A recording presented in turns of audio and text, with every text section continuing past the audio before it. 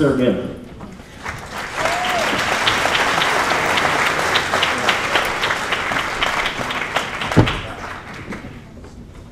Thank you very much.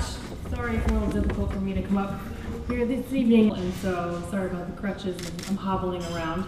But you know, what I really want to say tonight is something that over the last year has become very clear to me.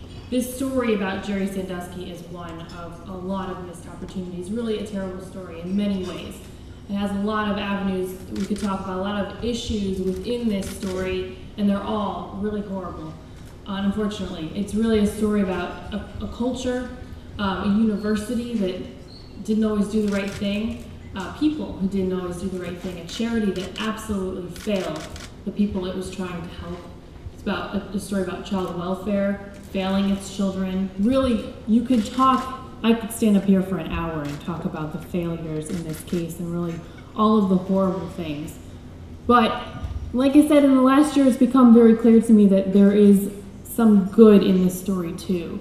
And one of the good things that, that became clear right away was the amount of awareness that it brought.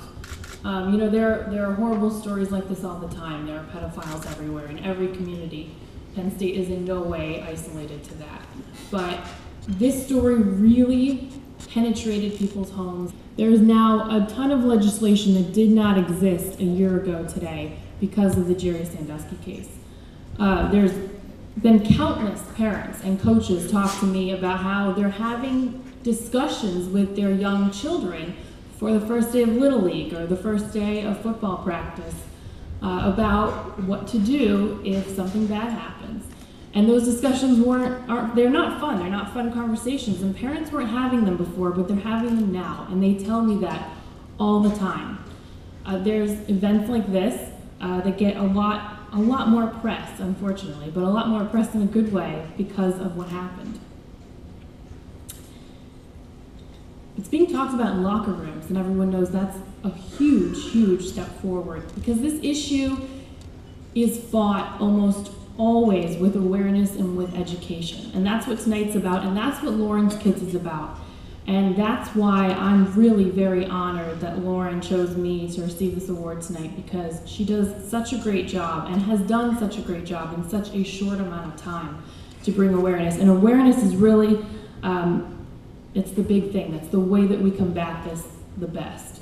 We're not going to be able to eradicate this. Um, there are bad people out there, and it's very clear, it's become very clear to me when you really delve into the mind of a person who's a pedophile they, there is no cure, they cannot be healed. What we can do is try to protect ourselves and our kids. And again, that's what Lauren is about, and that's why I am very honored because our work clearly did bring awareness, and her work has done a great deal to bring awareness. And I hope that everyone in this room can take that message and move, move on with that tonight. Clearly, um, you guys are all uh, on that page. You guys are all in accepting of that, and that's really a good thing to see tonight. But um, please, that's the one thing you know. I hope that everyone can take from this is to keep talking about it. Talking is the best thing that we can do. So thank you.